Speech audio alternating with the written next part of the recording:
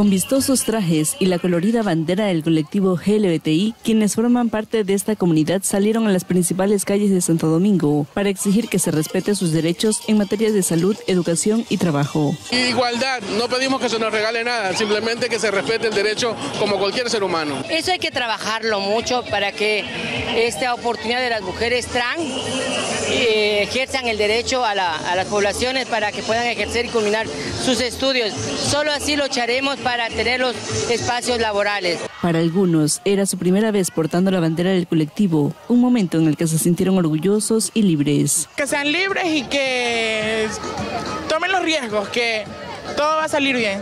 No obstante, quienes están al frente del colectivo consideran que aún falta concienciar sobre los derechos de la comunidad LGBTI con el fin de erradicar la homofobia.